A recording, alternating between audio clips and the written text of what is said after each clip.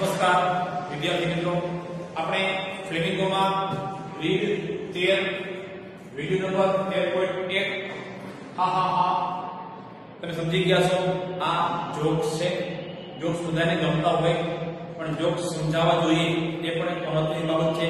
તમે ઘણા બધા હાસ્ય કલાકારને સાંભળતા હશો, પણ એમાંથી અમુક હાસ્ય કલાકાર તમને ખૂબ ગમતા હોય. એકનો એક જોક્સ તમે એની પાસેથી ઘણી વખત સાંભળો તો તમને મજા આવે. એટલે કે એની રજૂઆત કરવાની જે મેથડ છે, એ ખાસ ગમતી હોય છે.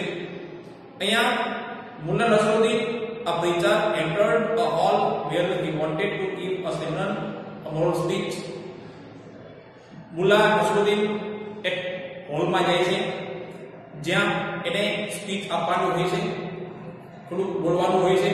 આપણે કેમ અહીંયા ક્લાસમાં અથવા પ્રાર્થના હોય, ત્યાં કોઈ વિદ્યાર્થીને પ્રેઝન્ટેશન કરવાનું હોય, સુવિચાર બોલવું એ ગમે તે મૌખિક વાત કરી તો એના માટે ઊભા થાય. તો અમુક વિદ્યાર્થીઓએ અમુક વિદ્યાર્થી એને બીક લાગતી હોય. એને આવડતું હોય પણ બોલી શકતા ના હોય. જે અમુક વિદ્યાર્થી એવા હોય એ બોલી શકે હોય એને બોલવાનું આવડતું ના હોય. એટલે અહીંયા બોલવાનું સુધી છે એક હોલમાં જાય છે જ્યાં એને સ્પીચ દેવાની હોય છે. The hall was empty except for a young stable groom, stable keeper, seated in the front row. આખો હોલ છે એકદમ ખાલી હોય છે.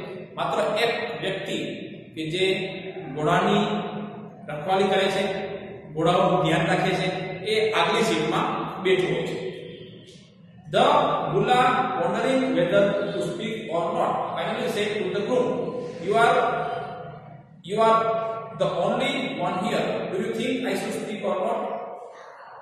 એ એના માણસને કહે છે જે ઘોડો રાખે છે એને ટૂંકમાં જે ઘોડાની સારવાર કરે છે એની જે દેખભાળ કરે છે એને પૂછે છે કે મારે શું અહીંયા બોલવું જોઈએ કે ના બોલવું જોઈએ? કોણ પૂછે છે? તો કે મુલ્લા નસરુદ્દીન. કોને કહે છે? તો કે ઓલા ઘોડાવાળા ભાઈને.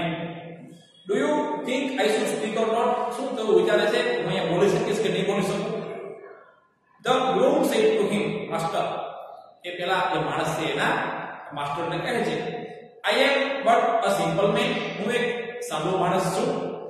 And do not understand this things મને આ પ્રકારની બાબત સમજવામાં ના આવે માત્ર હું ઘોડા રાખી શકું એની સારવાર કરી શકું એને ખવડાવી શકું કદાચ અસવારી સવારી જે કરી શકું તો મને આ છે કે નવીનમાં બેસે નહીં બટ ઇફ આઈ કેમ ઇનટુ ધ સ્ટેબલ પણ જો હું તે સ્ટેબલ એટલે કે જ્યાં ઘોડા બેસતા હોય એની બાંધવાની જગ્યા આપણે જેમ ઘોડા આપણે બેસવા માટે જે કેમ ગમાણ હોય તેવી રીતે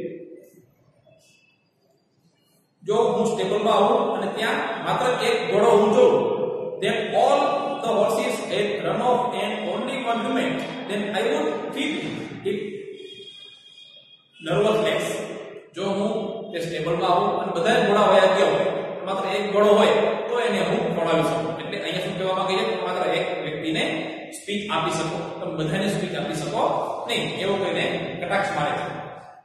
The mullah took this to heart and began to preach.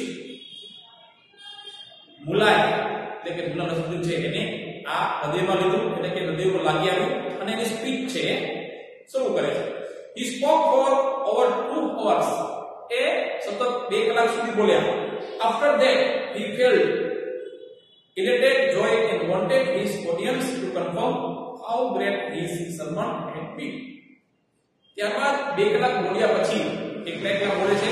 પછી એને અંદરથી એમ ના હવે હું સરસ બોલી શકું છું. હવે એને ઓડિયન્સ ને બોલાવાય છે. હવે ઓડિયન્સ આવો તમે મને સાંભળો. He ask how did you like my sermon the group answer તમે મારા સર્મનને કેવી રીતે તમને કેવી રીતે તમે પસંદ કરો છો? મારી બોલીને તે વ્યક્તિ કહે છે I told you already that I am a simple man and do not understand these things very well. However, if I came into the stable and found all the horses one, I would feed it. But I wouldn't give it the whole food for cow and horse I had. જો હું તે તબેલામાં આવું દમણમાં આવું જ્યાં ઘોડા બંધાતા હોય ત્યાં જો એક ઘોડો હોય તો હું એને ખવડાવી શકું પણ બધાય ઘોડાની જે ચારો હોય બધાએ ગાયો ભેંસો ઘોડાનો જે ચારો હોય એ હું એક ઘોડાને ખવડાવી શકતો નથી એટલે અહીંયા શું કહેવામાં આવે છે તમે માત્ર એક વ્યક્તિને સંભળાવી શકો તમે આખી જે ઓડિયન્સ બેઠી હોય તમે એને આ સ્પીચ આપી શકો નહીં એવું સિમ્પલી એને જવાબ દે છે એટલે મિત્રો આપણે સરસ મજાના જોક્સ છે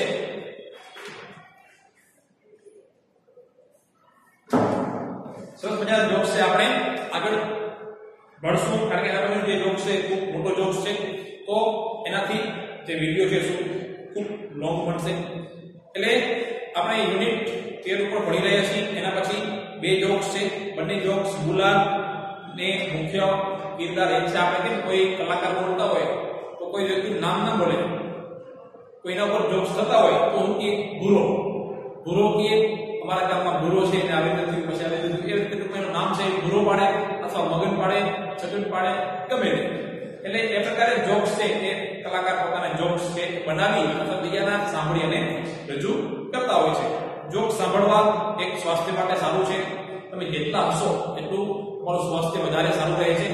મોટા મોટા સિટીઝ છે, રાજકોટ, અમદાવાદ, બરોડા વગેરે, તો ત્યાં જે સિનિયર સિટીઝન છે જેની ઉંમર સાઠ વર્ષથી વધારે છે, જે લોકો ખૂબ નિવૃત્ત છે, એટલે કે કાર્ય હોતું નથી. એની આર્થિક સદ્ધરતા પણ સારી હોય છે.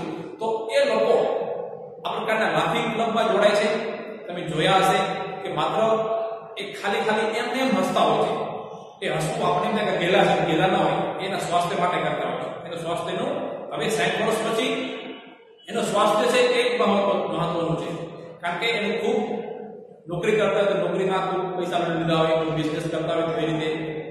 તો એનું સ્વાસ્થ્ય એ જ એનું મહત્વનું તે ધ્યેય હોય છે, એવી રીતે સ્વાસ્થ્ય સારું રહે. સાઠ વર્ષ પછી સ્વાસ્થ્ય પ્રત્યે વધારે સભાન રહેવું જોઈએ. તો આ પ્રકારના જોબ્સ છે, જેનાથી તમને રમૂજ થતું હોય તમને આનંદ આવતો હોય, તમે મિત્રો, સરખે સરખા મિત્રો હોય, ચાર પાંચ મિત્રો, તો એકબીજાની મસ્તી કરતા હોય, તો એને જોક સંભળવાની જરૂર હોતી નથી, કારણ કે એ પણ ખીલખીલે રસ્તા હોય છે ક્લાસની બહાર વિશેષમાં અથવા બીજા ઘરે જતા હોય ત્યારે અથવા ફોન પર ગમે તે રીતે.